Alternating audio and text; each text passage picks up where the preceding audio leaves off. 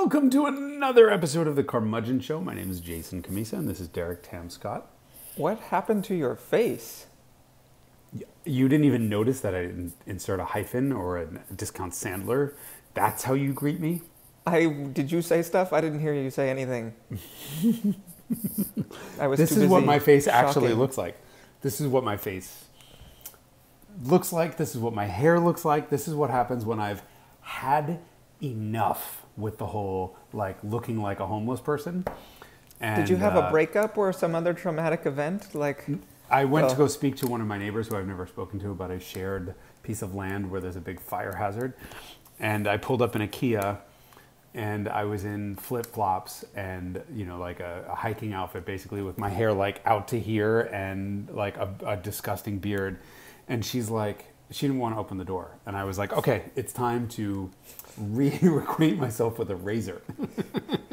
And so I did. And I haven't been clean shaven in years, and this is what I look like. And every time I look in the mirror, I'm like, what the fuck happened? So thank you for wow. thank you for uh, A, always looking the same, you bastard, and B, pointing out that I look completely different to the audience, especially those who are watching this on uh, or listening to this on a podcast app. So now you're going to have to describe for them in kind words what I look like. Um, I'm sorry. Kind words. Yeah, better start I- with 10 years younger. Uh, yes. Maybe more than ten years. Really? I don't know. You said kind words. I was doing my best to. I didn't uh, say lie. I didn't say kind lies. Oh, we should probably talk about some some automotive subjects now. That much of a subject change. This is going in your permanent record, Derek Tam hyphen Scott. Um, or is just Oh, now payback you run HR. Yeah, well, it could also just be payback for me inventing the hyphen nickname for you that seems to have stuck. Like every time anyone references you in YouTube comments, they call you hyphen, or on Reddit, they're like, "What's up with hyphen?" And I'm like, I live for this. Uh, well, congratulations on that. I think it's best when people. Uh, my favorite comment was someone was saying that they had read, uh, or when they were reading my name it, written, they pronounced the hyphen out loud, or like it as a, as a hyphen as opposed to not pronouncing it. I read that one too. I laughed so hard.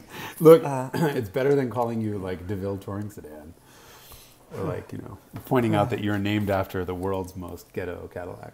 I know. and My brother's first name starts with a G, uh, so he gets the good letter, right? Because GTS is like GTS. yes, and 928, and Ferrari 308, and Oh, yeah. 328, and 348, and 355, and I get the You just get the DeVille touring sedan. yeah.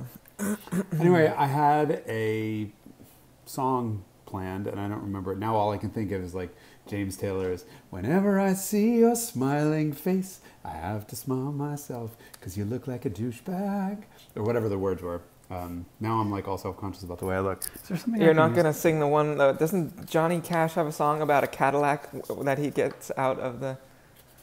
Uh, I'm covering my face out of out of embarrassment. Cadillac out of what?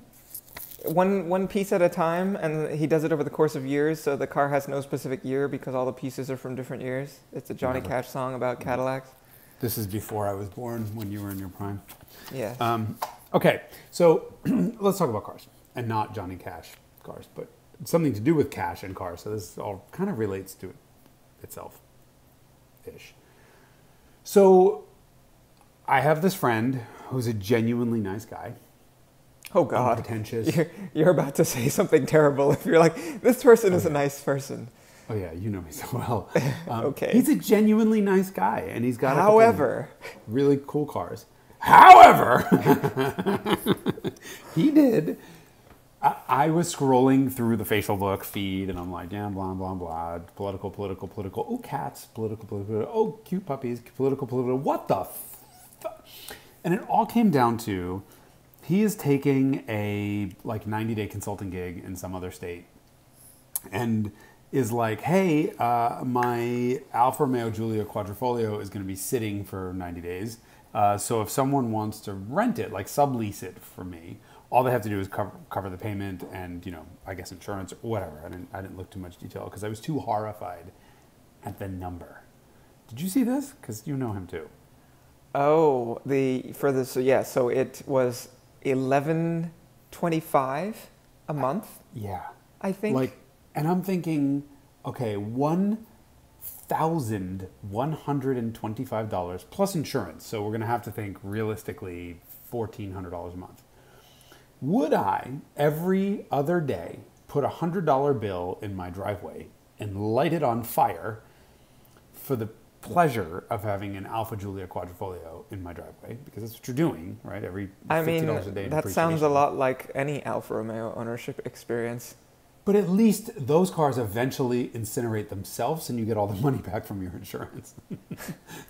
I mean, I just, it just got me thinking like, this guy's, I don't know what his financial situation, it doesn't quite matter. $1,200 a month to lease a car. Could you? Isn't that normal? Isn't that what most people do when they lease car? I'm, so I've never leased a car. Um, No, no. I mean, maybe but like in most like Beverly high-end Hills. cars are leased. No, I don't. How yeah, would yeah. So over or in the, in the, over- financed? It, finance or leased. I mean, almost no one pays cash. I think I just saw uh, a report the other day that the number of cars that are leased in the U.S. had been hovering between 30 and 35 percent for most of the last couple of years, and it's down to 25 percent for some unknown reason. Um, and my guess is it has to do with payments, but we'll get back to that in a second. I'm going to say the average person probably spends somewhere in the order of three to five hundred dollars a month on a car lease. Um, and, and let me also say that I absolutely love and adore the Alfa Romeo Giulia. I think it's the best sports sedan on the market. The Quadrifoglio is just therefore the best version of the best sports sedan on the market. Um, I just can't. Like twelve hundred dollars a month is a mortgage payment in, and a big one in most of the United States. Um, and it's I, I just can't believe that someone would do that. Now, and there's there are extenuating circumstances in his case. This is not about bashing him because he does rent it out on Turo, and he you know he he made the decision to lease this ex- incredibly expensive car so that uh, with the the Turo um, revenue in mind. So really, his uh, actual cost would be less than that. That's not why we're here. Why we're here is because if you average out, if you take all of the money I've ever spent on a car in my life and then subtract all of the money that I've gotten back from it when they've caught themselves on fire and I've made an insurance claim or sold it, I guarantee you I have had a fleet of 25 cars over the last 20 years um, that have totaled, in total cost to me, negative. Either I've broken even. Yeah, but you spend hours and hours and hours like ministering to them, so you value your time at zero. less than and zero. My time is absolutely less than zero. So you know me. I mean, would But on. like let, let me ask you this. I'm genuinely curious, and I don't expect a spreadsheet answer, but on your average car, you know, you buy funky old cars. We've discussed this before. Like, what would you do if you lost twelve hundred dollars a month on one of those cars? I mean, I've done some dumb. s- No, I've done some. Mm, maybe that 164 because I owned it for less than a month. uh, okay, fair enough. But you put like lots of miles on it. yes, I did also put over 1,200 miles on it. Okay. So I mean that's a dollar a mile if you lost twelve hundred bucks. It's you know. I, I just start thinking about like the most exp- the, the most expensive automotive experience I ever had was my 996. So in February of 05, I bought a 2000 996 because I was going to be hot shit and I thought I was making a financially secure decision. It was 40,000 bucks.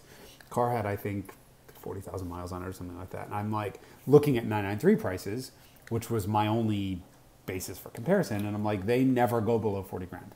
Like, it just doesn't happen. So therefore, my 996, which was ugly as sin, shouldn't have gone below $40,000. And boy, was I fucking wrong. Yeah, because those cars are still a decade and a half later worth like, especially in conver- convertible form, worth fourteen thousand dollars on Craigslist. Funny Sorry, enough, asking fourteen thousand dollars on Craigslist. right? Although nice ones, nice late whatever ones. I, a friend of mine's buying one for twenty eight at the moment, but um, you know it's got some mods and it's kind of the right car. My Does car it have was- a roof? It's a convertible. No, it's a convertible. Oh, okay. um, maybe he's completely overpaying. I don't know. Sorry if he's listening. I, I didn't do my research, but I looked at the car and I'm like, yeah, thumbs up, looks great. Anyway, but I sold that car on 7 7 of 07. I'll never forget that because it was my lucky day. Uh, and I got $30,500 out of it. So I had the car for two and a half years and it cost me 9000 bucks plus, you know, brakes and, which I did a couple times because I tracked it, and um, a muffler blew out, and like other weird little stuff. I probably all in lost eleven hundred bucks on the car. Oh, eleven thousand bucks on the car over two and a half years, and I was devastated. I was like, "You stupid." I don't have a beep machine. POS. Um, oh wait, oh, you think I have a nasty mouth to other people? You should see what I call myself. But I, I was really upset that I had lost that kind of money. That is nothing compared to what our friend has signed himself up for every month for three, four, five years. I mean, it's never made sense to me because. Uh, so I've I've had some experiences like that too. Where I've lost considerable money on cars. I would say the Audi wagon was one of those because I because it had a catastrophic mechanical failure while I owned it, and one of my 911s that I owned, I had an 87 Carrera 3.2, and uh, I spent $500 on a pre-purchase inspection, but the pre-purchase inspection failed to mention that the car did not, uh, th- that it was burning a lot of oil. So I ended up having to rebuild the top end, and I did the clutch and stuff on that car, and so uh, I um, lost quite a lot on those two cars. Mm. Generally speaking, though, I, yeah, I haven't lost that much, but. Um, one of my friends, whom you know, also leased a new BMW M6, uh, and it was I did the math. It was basically over seventy thousand dollars to rent the car for three years, and then the residual was seventy something thousand dollars on the car, which me which is more than the car was worth on the open market at the end of three years because those cars depreciate a lot. Because it was I don't know what it was like a hundred and forty thousand dollar car or something like that.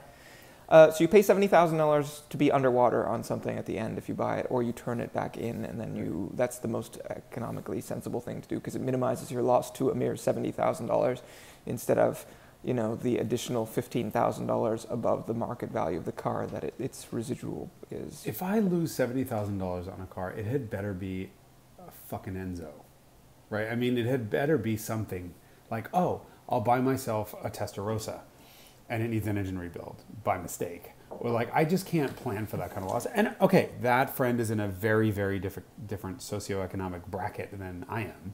Um, but the, the leasing thing is a very interesting game. So. I, I, I actually recommend leasing for to a lot of other a lot of people. And I know you- really. yeah, I, I could never fathom it. I would much rather spend that money uh, on uh, maintenance instead of some terrible old car.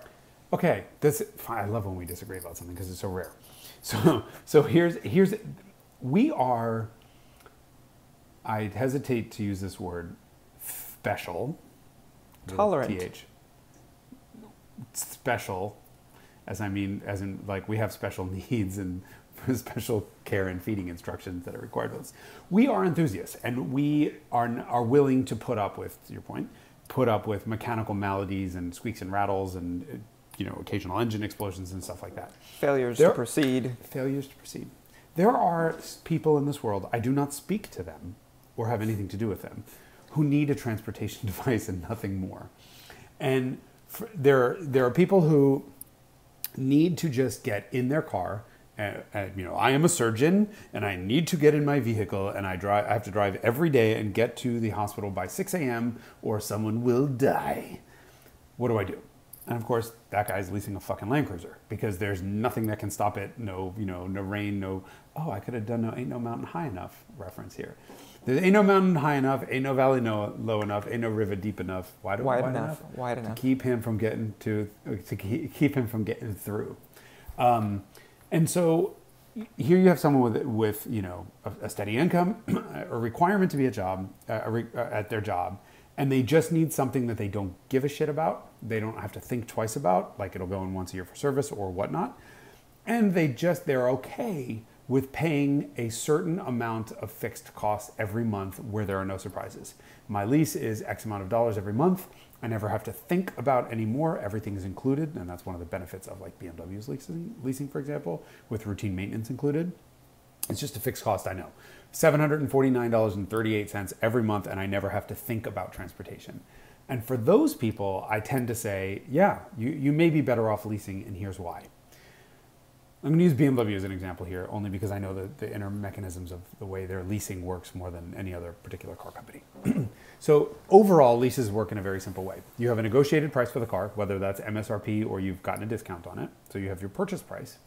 And then you have what's called, and you know this. Sorry if I'm boring you, but you know maybe there's. I maybe don't know this. I don't know fuck all about leasing because I've never uh, seriously entertained doing it before. Okay. Okay. Well, then good. We can teach Derek Tam hyphen Scott something.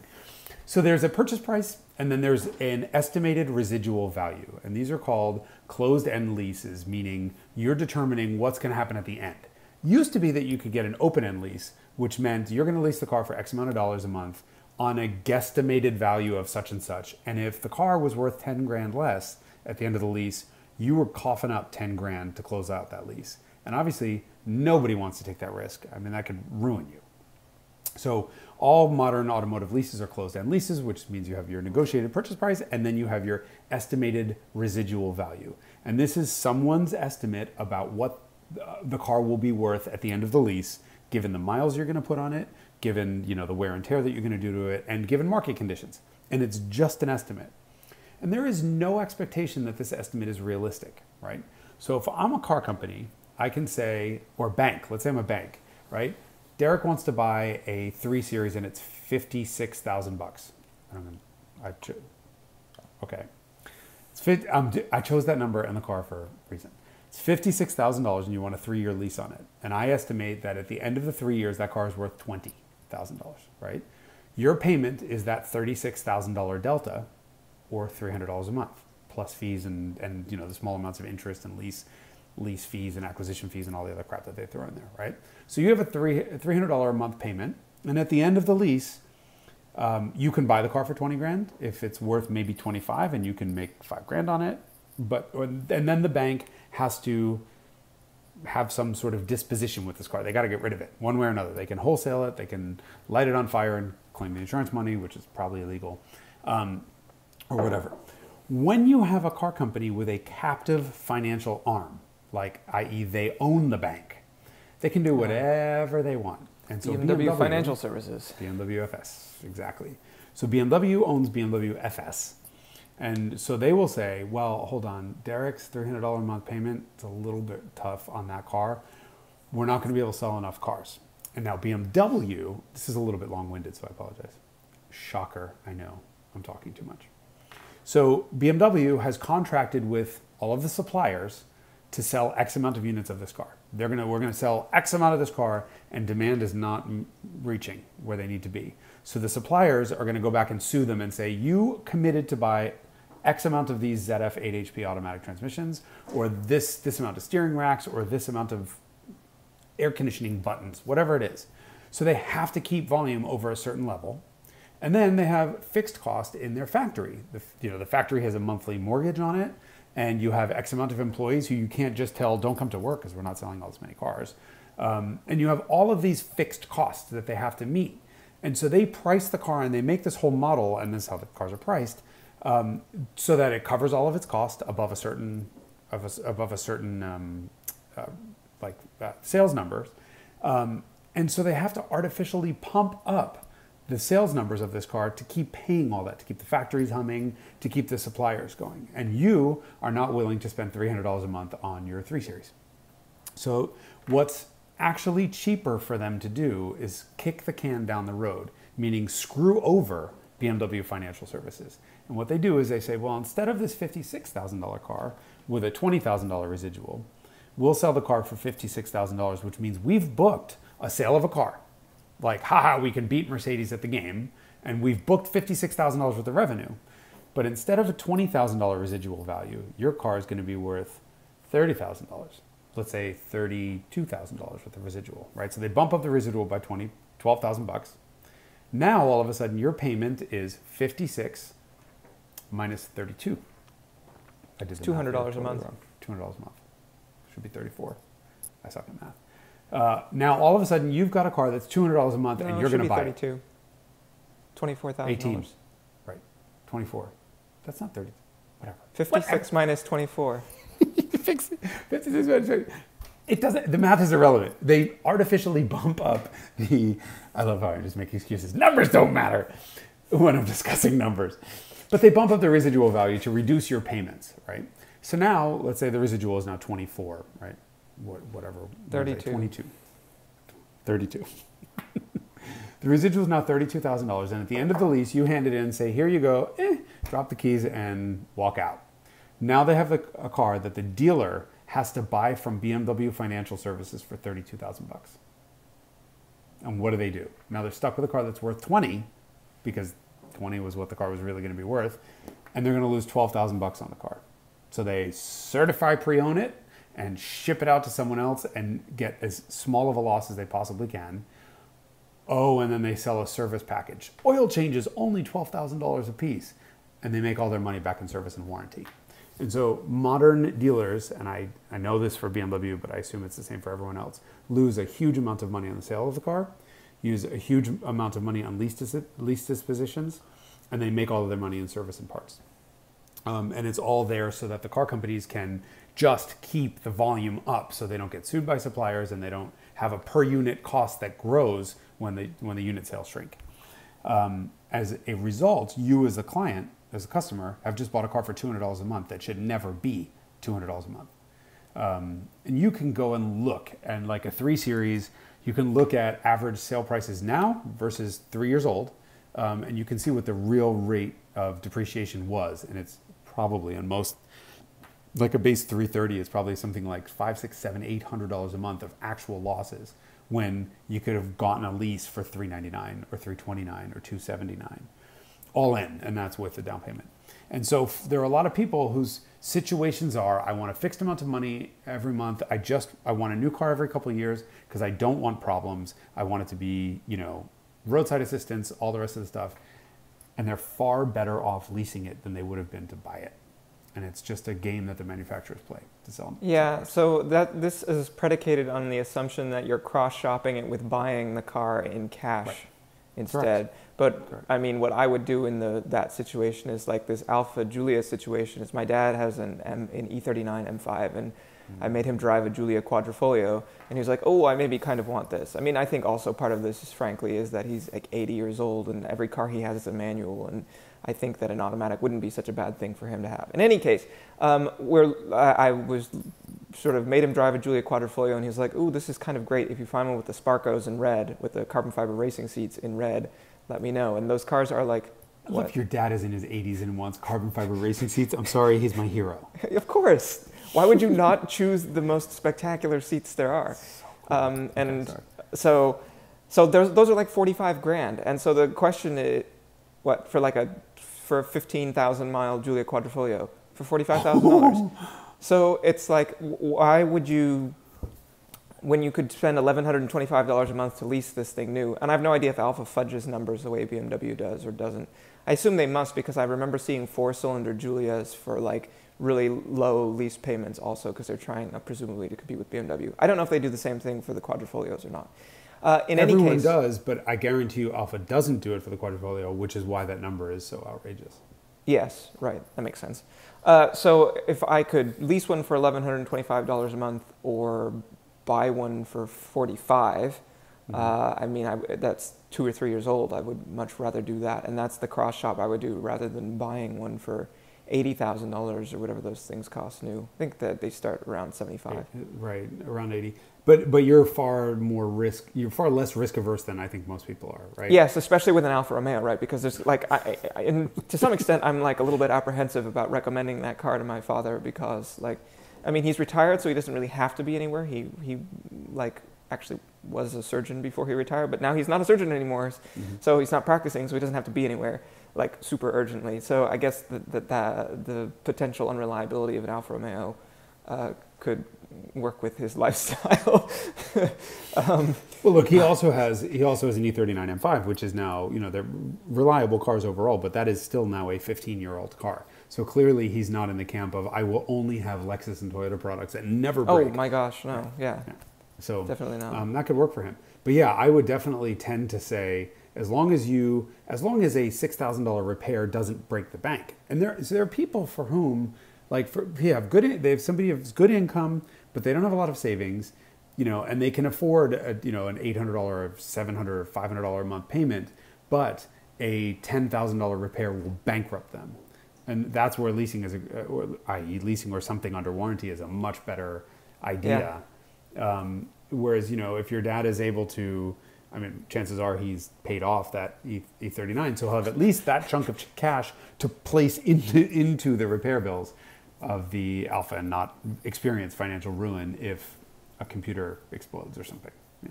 No, I mean, yeah, that's the that's the deal. I think the inconvenience would be more the car's downtime than uh, than the, the financial aspect of it.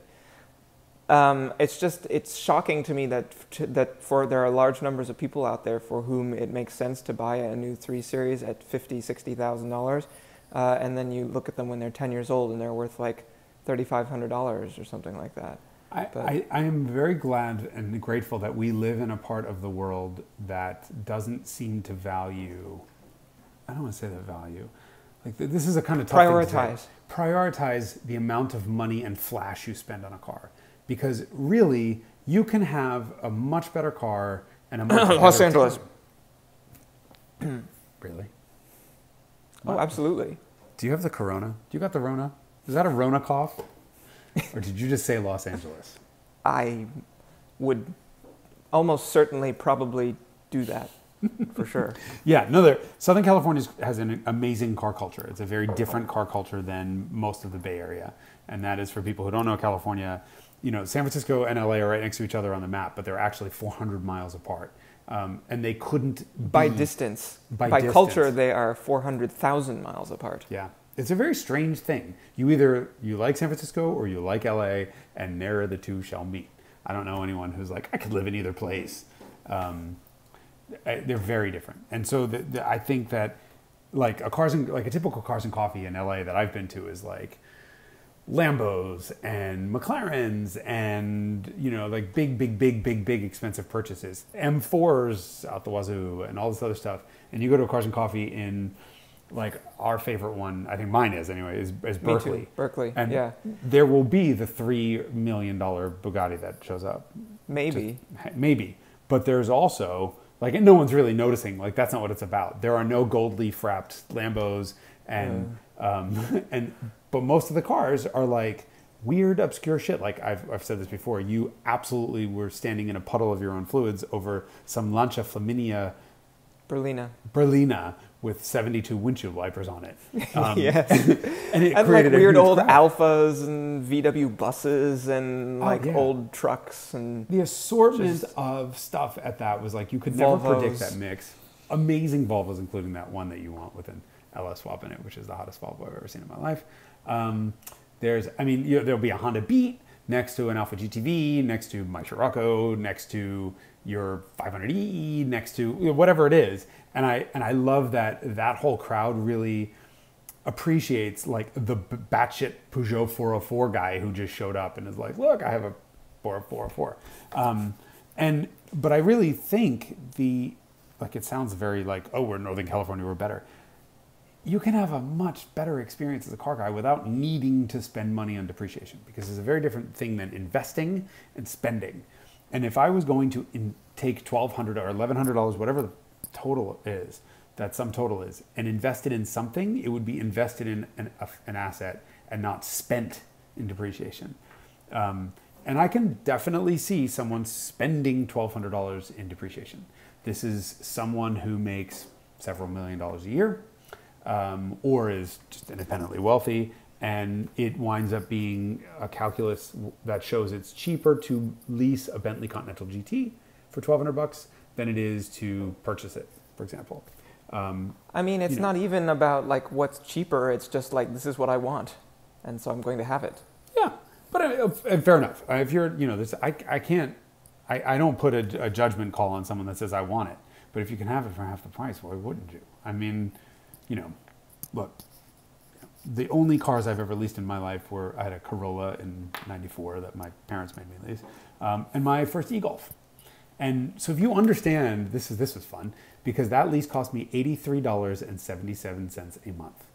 And if you understand the way leases work, right, you have the total purchase price minus the residual value. Well, resid was set on that car.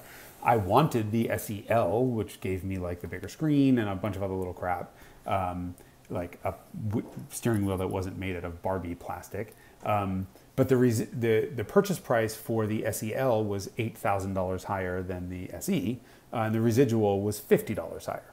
So I would have lost seven thousand nine hundred and fifty dollars over three years or two and a half years during that lease, which would have taken my payment and exploded it. But you know, the car was like thirty grand, and then you get seventy five hundred dollars back from the federal government, and then you get twenty five hundred dollars back from California, and then you get a you know check from the electric company, and that just pushes the purchase price down and down and down and down. Um, and they had like two thousand dollar owner owner loyalty, and I'm certainly loyal to Volkswagen. Um, and Does like, owner you know, loyalty work for something that old, for, for VW products that old? No, but I made a phone call to VW. And I, so I was calling to get, they, Volkswagen has a friends and family program. It's not media or anything, but it's if you know someone who works at Volkswagen of America, they can get, they can get you 500 bucks off. And they get like a gift card for Starbucks. So I called a friend at Volkswagen of America and I'm like, hey, can you get me friends and family? And by the way, what's the deal with um, owner loyalty? And he's like, I don't know. I can look into it. I'm like, can, can you just agree with me about that there's no one more loyal to, loyal to his Volkswagens who hate him than me? And he was like, You're the biggest idiot the, uh, on the planet. And I'm like, Great. I'm going to quote you on that. Can you please sign off on me getting a owner loyalty credit? Um, and actually, f- for a strange period of events, I had a 2001 or 2000, whatever it was, conforming car in my name for long enough for me to get a uh, registration card for it, which counted. So we got we pushed it through. Um, But yeah, I got all these discounts, which pushed the the effective purchase price. Plus, the dealer gave me like eight thousand dollars off the car. So my purchase price wound up being uh, two thousand whatever it was. I think it was two thousand four hundred and ninety six dollars uh, more than the residual value, and so my lease payment was that amount of money divided by the amount of payments, and that was my payment. Um, can't fault me for leasing a car for eighty four dollars a month. Yeah, that's basically free. Yeah, it was. I called it my free golf Free because golf. yeah, by the time it paid for its, uh, by the time I calculated out if I drove five thousand miles a year, which is what I did, the amount of money I actually spent on gasoline, uh, on electricity, uh, and compared that to the amount of money I would have spent on gasoline if it was a gas burning Golf, um, the car wound up costing me nineteen dollars a month, and that includes insurance. And, Holy you know, hell. yeah, that was it. That was my free golf. I mean, that's so you can definitely play the leases to your advantage. Um, you know, the, and the, and by the way, the residual value of that car was like thirteen thousand bucks, and on the open market, I probably could have gotten fifteen for it. So then I started doing the math. Like, okay, it's closed end deal. I don't. I I walk away with nothing, but I have the option of buying it, and I could have bought it for thirteen. And but by the time you add sales tax in and um, and wait for the title and put it in my name and then take the chance, you know, of the market going down, I could have sold it and made a thousand dollars or two. So actually, you know, that car could have cost me like could have actually made nineteen dollars a month. Um, so you can you can definitely work it. I just I, I think that I, I really always advise people to, to remember there's a very big difference between investing in an asset and paying for depreciation. Um, and eleven hundred and something dollars in depreciation. I love that Alfa Romeo Giulia, but there is absolutely no way that car is worth twelve hundred dollars a month to me. No, not especially not when you could be buying one for forty-five thousand dollars. Yeah, that's crazy. So, is there a car that's worth twelve that you would sign yourself up for for the next year, and you'd actually pay twelve hundred bucks for?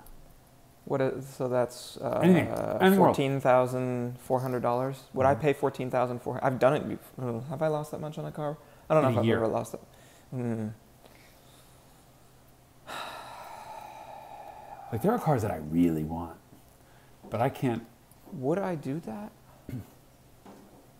I don't. I don't think You love so. that Giulia. Yeah, but but the urgency is not very high for that purchase, and I know they're going to continue to go down, which is part of the reason why I don't have one. Also, that I don't need it. Uh, that there's no mission that it serves for me. Yeah. Uh, yeah, all the stuff I gravitate to because I'm thinking about like, oh, GT3, but it's like, oh, those cars don't depreciate that much. It probably has depreciated that much, especially with mileage. Um, uh, but also, I intend to own the car for a long time, such that the depreciation becomes sort of irrelevant because it's getting amortized over such a long time, and the car's value is going to stabilize at some number, which is a pretty high percentage of its original purchase price, especially Mhm. compared to, you know, a Mercedes S-Class or a BMW 7 Series or a Range Rover, which costs the same amount of dollars new, because those cars all end up worth being worth, you know, seventy four hundred dollars when they're old I'm enough. astonished at the actual amount of cost not investment, cost of owning owning something like a seven series or an S class. I mean, you're talking a hundred and thirty thousand dollar investment for something that, like, fascinating. You look at three, five, and seven series prices. And they all end up at the same number. Usually, the 3 They're all are worth- highest. They're all worth like five to ten thousand dollars when they're Yeah. ten, 10 years old or whatever. And it's really interesting that you sort of extrapolate that even a, another couple years out, and the three series starts to go back up. The five stays level, and the seven just plummets to negative. Like, what would it? What would you pay right now for an E E65 750? Okay, ask about an E38. E38. Because then you're like, okay, that's kind of cool actually. E32s also. Okay, E38, amazing car, one of the best looking 7 Series of all time. Great V12, nightmarish V8s, um, but whatever.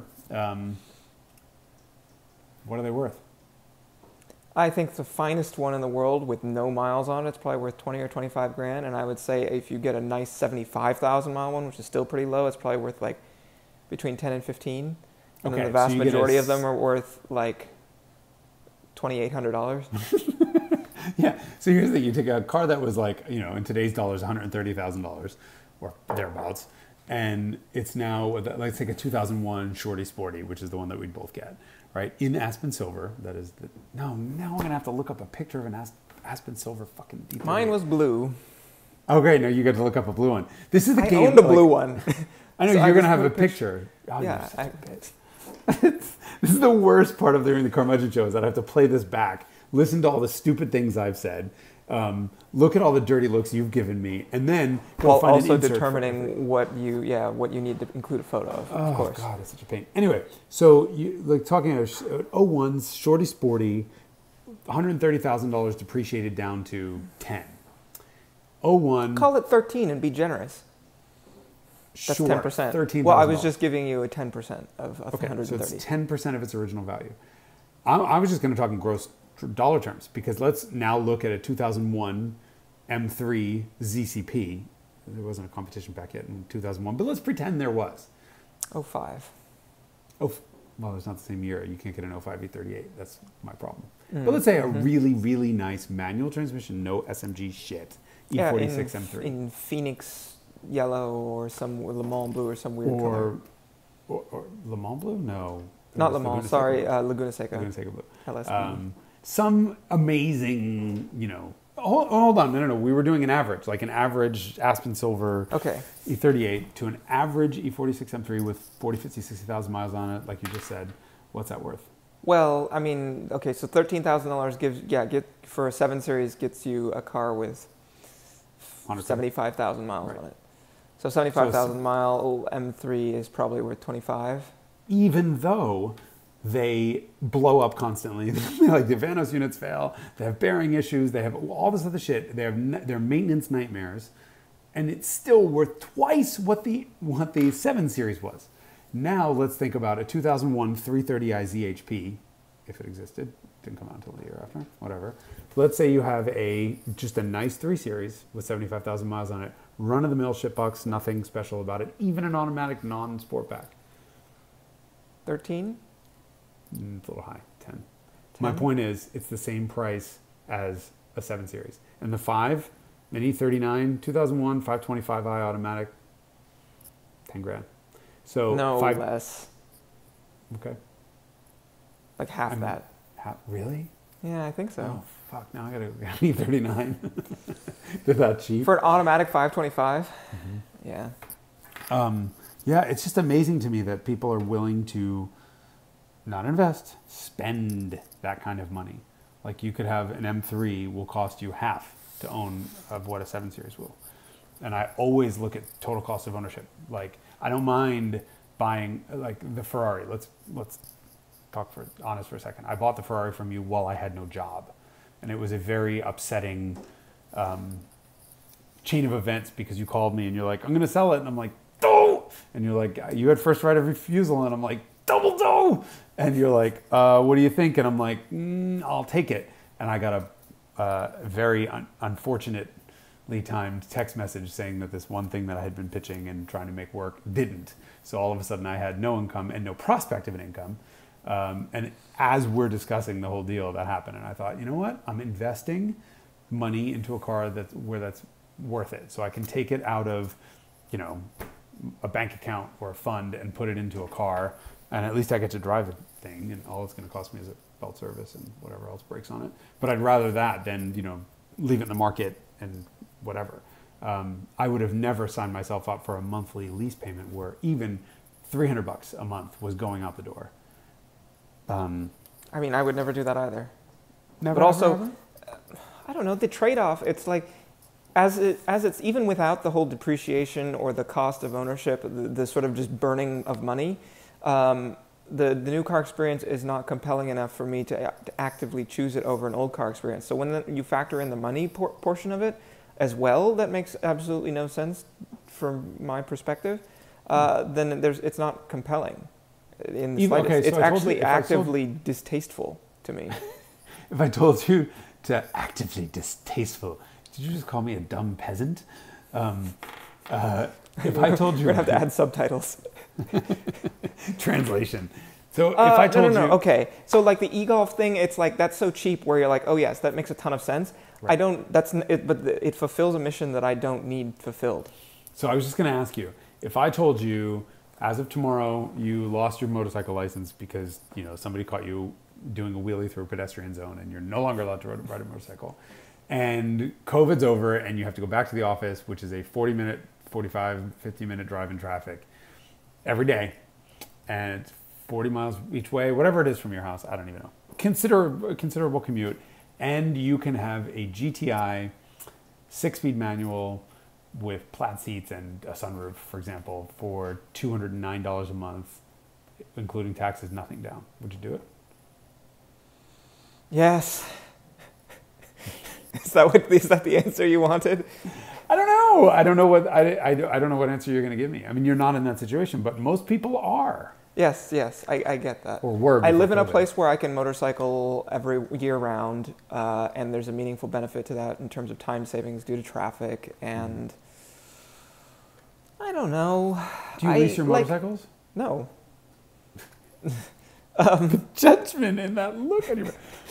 Ew, David. That was very like Alexis uh, Alexis Rose.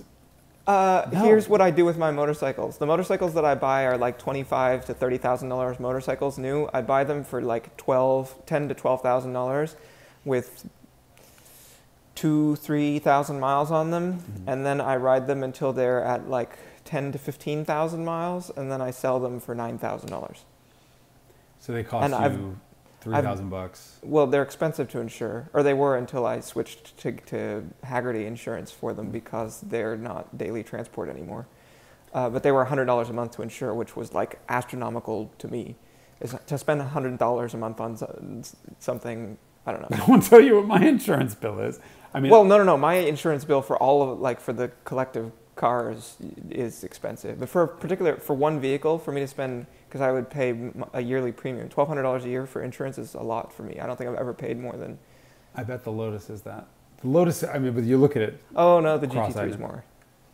But I mean, the GT3 is worth a lot more than a bike. You know. Oh, yes, it, for it sure. Could, it could conceivably have a hundred and ten thousand dollar injury. Um, And not To be totaled. yeah, Correct. not be total. Um, yeah, so they cost a lot to insure, but you really only lose three thousand. But how long does it take you to put that many many miles on the bikes? Uh, it depends on what my commute is, but it's generally like between one and two years. Okay, so let's call it eighteen months to lose three hundred uh, three thousand bucks on a car on the on the bike. I'm trying to just figure out what your monthly payment would be. It's two hundred dollars a month. I mean, so you're effectively you know you have your transportation need solved for two hundred bucks a month plus insurance and then quite a gas saving. So I'm guessing these things are far more efficient than most cars. It's like 35 miles a gallon. Far more efficient than any car you'd be caught dead driving. Yeah, especially given the pace. If you adjust the, the fuel economy for pace, then, then it's it's really stellar fuel economy. Trying to keep you out of jail there, DTS. I didn't I didn't say anything incriminating. I just said adjusted for pace. Yeah, I was gonna say. Yeah, most of them get 35 miles per gallon at 140 miles an hour. Yes, I've heard that. I am out of water. I can't do a spit take. Um, yeah, yeah. So, so really though, you do actually spend 300 bucks a month on transportation. and I think that's a reasonable. I have a I have a minimum. I have a free car. But I get so much joy. Like the- That the is just a value to me right? is Yeah. is so like I, even if I w- even if I weren't using it to commute, I think it would be worth it because I get that much.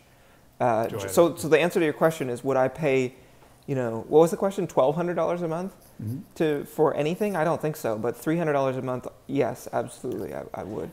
And I wouldn't I- lose that much if I didn't put so many miles on them. I mean, most of these bikes, because they, the, like the Italian motorcycles, all get purchased by people who uh, have a lot of money, but don't are, aren't often aren't super hardcore motorcycle guys, and that's why it's so easy for me to find one that's three, four, five years old with two thousand miles on it, because they just don't get used. Uh, and so it wouldn't the, the depreciation would be essentially zero if I weren't basically putting them in the 90th or 80th percentile in terms of mileage because there's so many of them out there with no miles on them.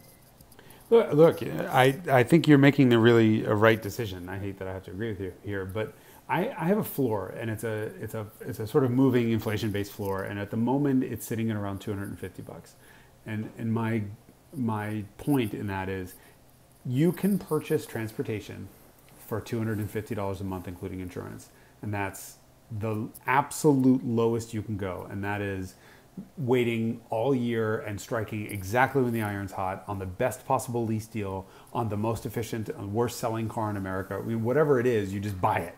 Um, and, and But what two- about your e-golf for s- 48 well, cents? free. And that's so that was such a unusual event. But on, in typical okay. cases, you can find towards the end of the year 169 a lease, a 169 a month lease on like a Jetta or a Civic or you know something. I don't really include Mitsubishi Mirage, you know, but there there are definitely definite cars that you can get leases under 200 bucks a month. Um, often they'll require 100 bucks down, so or a thousand bucks down, which will mean you know a thousand divided by 36 payments or whatever it is brings that 169 to 199 and then you pay pay $50 a month insurance on the car and you're at 250 so like $250 is what i call basically free transportation that's that is the minimum it's going to take to get your needs met for most people in most situations. Um, anything In a car. ab- in a car right. And anything above that is you're you're spending extra money because you want to because of the experience or because you enjoy driving. I do not begrudge anyone for saying i could have a base civic with crank windows if it existed you know. Like some something i don't want just just because it's $250 a month uh, but instead i'm going to get an Alfa Giulia ti like a four cylinder ti for 400 um, and I, I say right off the bat, $150 a month in, in you know, that's so the zero, the floor is 250. So you're spending 150 a month more. 150 bucks a month to be in an Alfa, to be in one of the best driving cars on like sedans on the planet. 100%. Go for it. Do it. You be you. You only live once. You can't drive. Life is too short to drive Priuses. You know what I'm saying? Um, but I just, you know, that I have to look at it that way because I'm beyond cheap and I bought most of my cars for fifteen hundred bucks. If I think about it, our buddy's lease payment and insurance every month could have bought almost every one of my cars in one month. No. Yeah, I paid fifteen hundred. That's because you have so many damn Volkswagens. But I paid fifteen hundred bucks for the Scirocco. I paid fifteen hundred bucks for the E30. I paid twenty two hundred dollars for the Cabby. There's another one that I paid like fifteen hundred bucks for. Not the Lotus. Not the Lotus. Lotus the and Ferrari were the Mercedes wasn't that bad. Mercedes was still in the it was a low a five digit number that started with a one. Nothing. I got that right at the right time. Um, the only cars that I've ever spent more than hold on, let me just double check this. In, in 996. yeah. I mean, I spent 39 on a 996. I spent, I've never spent more than 41 in a car in my life. Um, and I've had some pretty cool cars. And I compare this to my sister. Like, my sister is amazing. I love her. I don't want to bash her. However, there's a butt coming. God, you found this. However, um, and she drives right now. She drives a Mazda six six-speed manual in black, and it's Hey, fucking right. awesome. And I had nothing to do with this. This is the best part. She brought her husband's CX9 in for an oil change, and the salesman comes that's comes how over they get you. right. And you know, my sister is ridiculously fucking hot, and so she's on the lot, and of course, every salesman's coming out, and she's like, "Oh, leave me alone, leave me alone." This one guy comes up and is like, Uh, you know, what's it going to do to take you to, to to get you to drive away in that car? And she just looks, gives this guy a like typical New Yorker dirty look, and she was like, "Yeah, if it was a fucking stick, I would drive it off the lot today, but it's not. So fuck you." And the guy was like, "That that black one, that that one's an actual manual." And she was like, "They don't make this car in a manual." And he's like, "That's a stick." True to her word, she drove it off the lot. she left the CX9. She told him, "Go get your own friggin' car. I'm driving my new." And she got rid of the minivan. She has, you know, the kids. She was like, "They're, they can sit in the back seat." We sat in the back seat. She had she'd been driving a minivan, and I think had just started to realize that like, mommy life was not the only life there should be. Um, and so she's got this hot Mazda 6 stick. Um, but if I look back through the cars that she's had over the years, she had a Honda Element that she loved. She had a Passat 180 wagon uh, that she loved. She had a Sentra SE that I made her buy. She had a Jeep Cherokee, the 2.5 coupe in 1986. And I'm not looking up any of the inserts, so don't even bother to look at the screen because I'm not digging up these pictures, except the SE. I have really cool, good pictures of that little Nissan Sentra SE. SE was the SER, but it still had the 1.6 or 1.5, the little motor, and like it had alloy wheels, but they were 13s. They were so cute. Just like I don't think you can even find tires for those. Probably not. But it did have like the SER spoiler and the SER seats. But if I look at the number of dollars, and then of course there were all the minivans from the kids. If I look at the number of dollars that she has spent, meaning gone, on her cars, I bet she has spent a 10 to 15 times the amount of money that I've spent. And right now she has a fully depreciated 120,000 mile Mazda 6 and I have seven cars with a combined value of far in excess Of a Mazda of 6. Mazda 6 with 120,000 miles on it. Um, and I've and I get to drive a Ferrari around and a Lotus around and a Mercedes and a BMW and yes, a couple of Volkswagens. No one's perfect. Um, yeah, I just think there's a smart way of doing car Well, yes, it and that has always like- been the attraction of vintage car or old cars in general. And this is why I always gravitate towards Radwood era cars because you can get so much car for the money. Uh, and of course, what I'm cross shopping against is stuff from the 50s and 60s that's actually valuable instead of Mm. this sort of Radwood definition of valuable, which is like, oh, that's an expensive one. It broke twenty thousand dollars. Um, money. That's outrageously expensive. I mean, you can get so much car from that era for seventy-five hundred bucks or fifteen thousand dollars. Goes a hell of a long way for Radwood era cars. That's which I got to be the really hard part about your world. Like your world at ISSIMI, your world, you know, in, in your previous, you know, companies where you've always been in this world where like a quarter million dollars is just a normal. Like, Well, it's actually kind of entry level, which is odd. oh, I know. Uh, crazy. Especially for vintage cars. And it's like you look objectively. I, I talk about this often, objectively about what comes with an old car, and you're, you try to explain it to people. They're like, "Why is this old Ferrari worth three million dollars?" Well, and then it's like, "Well, you know, it's not fast or efficient or safe, and it smells bad, and uh, it's not like reliable either." Um, and it's not like really a good car at all, actually. So that's why it's worth so much money, um, obviously. And then they're just like, uh, Huh? what? You sure about that? Yeah. This doesn't calculate. That's in any so case. weird. because you're not because that car is no longer transportation. And that's the that's the answer. Well, to yes, question. that's actually the answer to that question is that, that it's not a transportation device anymore. It is an objet d'art. It is I a collectible. gonna what? say exactly that word, except I was not gonna do the snooty, pretentious French accent. An object of art. Yeah, which is bad enough, but objet d'art is even worse. Right. I have to make fun of you. It's my job. It's what, what I get paid for. I'm not complaining. Carry on. Let me Damn know when you're done. We'll move on I would with- like to the next I would topic. like for you to complain. Would you like exasperation? Here, I'm going to spray this drama spray at you. And Here's some exasperation. thing? Drama this the coolest spray. thing ever? My friend Tim got this for me. I have no idea what it does. It says cap approximates color of contents, and it's sort of a like a hazy, filmy white, and it's drama spray, clear plastic. Like I don't know what this does, but I'm afraid to open it up and spray it at myself because I'm frankly high drama enough. You should Shake well, listen for rattle of agitator, continue shaking for at least one minute. Or you could just spray it on uh, hapless passersby and see how that goes. uh, have we covered the topic of today sufficiently? Was there other what? The, what was the? Let's. Uh, I think the takeaway is the you would have to be out of your fucking mind to spend twelve hundred dollars on an Alfa Giulia uh, Quadrifoglio, despite the fact that it is an amazing car. Because What about twenty five hundred dollars a month on an M6, or whatever those cost? I don't. I don't know. That makes two thousand dollars a month.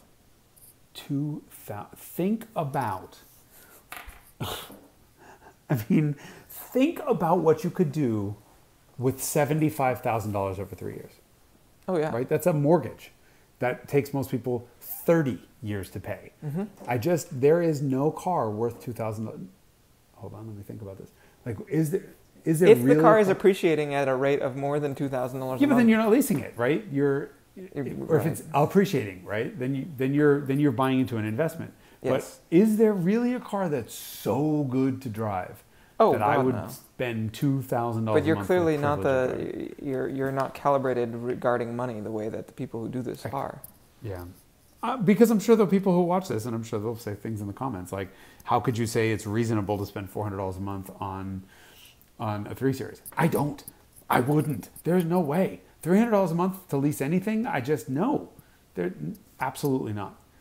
But I'm not a high high paid doctor who needs to be at work, or someone who can't fix their own car, or you know, whatever. I don't understand this whole like luxury car thing. To be honest with you, I think you know most cars just suck, and they're not worth their real prices. This is why you're a curmudgeon.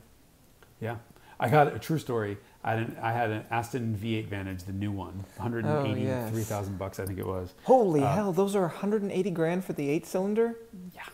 Yeah. Um, and I giggled because the guys, the, the fleet guys who come and manage this stuff, dropped it off and handed, took the Aston key and gave me a Kia key. Um, and I look outside and there they are parked next to each other, an Aston Martin V8 Vantage and a Kia Forte GT. And I'm like, what, you know, one of those days where everyone's like, oh, you should love your job. Everything's amazing. And I'm like, for every Aston Martin, there's six Kias and, you know, three Mitsubishis. I, I had to move the Forte because it was blocking my driveway. Um, and I got in, and my first thought was, oh, thank God. Like the interior is actually nicer than the Vantage is. In, in terms of just, you know, like a cohesive look, and that Vantage is completely covered in uh, Alcantara, like someone took uh, like a luxury mansion and covered the entire thing in shitty wall-to-wall carpet. And when I say the whole thing, I mean wall, ceiling, kitchen countertop, toilet, the whole thing. Like the whole car is completely covered in Alcantara. The the Kia has different textures, some of which are really shitty, but textures and colors and finishes. And I'm like, oh my god, the infotainment system works. Like boop boop boop boop. Like it's like touchscreen, and the whole thing worked. And I took it for a ride around the block, and I made it like four cars, uh, four houses down, and the words left my mouth. I'm like, oh shit, Biermann did this. Albert Biermann is the is the old BMW exec who is now he did all the M cars, and he's now doing all the Hyundai stuff. And its signature is just slathered all over the car. Steering ridiculous. Engine's got a great note. The transmission does these the little you know sporty car farts on on the upshifts, and everything is amazing. Sticker price with heated and cooled seats, sunroof. I mean, every single op- automatic climate control, everything you could ever want. Twenty six thousand dollars.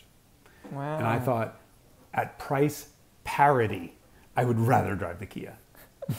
now you factor in the fact that you have to buy the Kia and then purchase another one or spend another one hundred and fifty thousand dollars.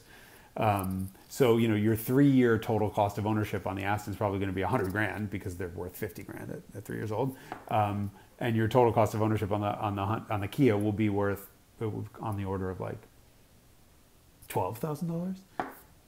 I just don't get it. Why would you buy an Aston? Uh, make- it's the it's to people want to have the badge. I don't know, or they're not calibrated. I think a lot of people think that they genuinely enjoy certain experiences because they haven't had other experiences to compare them to that demonstrate. It's like ignorance is bliss. Maybe ignorance is bliss. If you like that experience and you don't find it objectionable, then it's maybe worth it to you and it satisfies your personal utility function. Fair enough. Fair enough. I mean, here's the thing: if you like that Aston V8 Vantage, don't talk to me ever again. I could understand spending $180,000 on an objet d'art, like i.e. the previous generation V8 Vantage, which was stunningly beautiful inside and out and drove even better than it looks. This thing is ugly outside, ugly inside, and drives like garbage. Um, and yeah, that's when I get really angry. But may, I don't know if it's because I'm a car mudgeon or because I'm a cheap mudgeon. Why are those con- like or maybe you're both? Okay. Well, we need to come up with a name with that name for that. Okay, you can Right. ruminate on that before next week's episode. Okay. Uh, we will start next week's episode with my self-insulting name. Terminology that encompasses both cheap mudgeon and carmudgeon. Yep. Okay. right. And then you you got to find something for yourself because I mean, or we could just stick with hyphen. Like, sorry. Fine by me. All right. I'm gonna I'm gonna send you my uh, hair cutter so we can open next week's episode with, "What the fuck happened to your face?" Just you know to get you back. Okay. Thanks. Until next time, don't forget to like and subscribe if you liked what we said or didn't like what we say. And remember that the comment section below is where you should write terrible things about Derek Tam hyphen Scott and nice things about me. Like, Sanlu looks 10 years younger.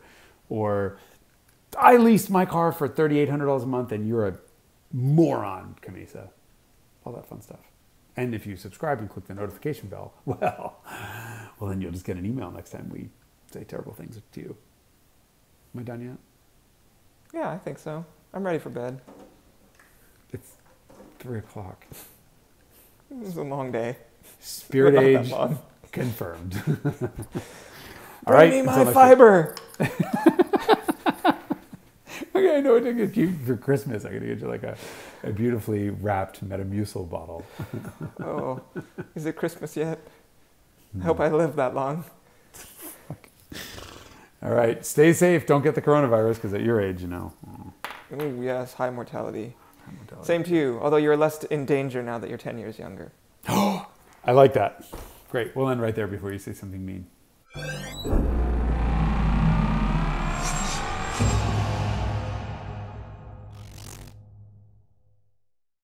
If you enjoyed The Carmudgeon Show, make sure you subscribe to the ISSIMI YouTube channel and click that notification bell to make sure you're told every time we publish something amazing, which is basically every time we publish anything. Terry done yet?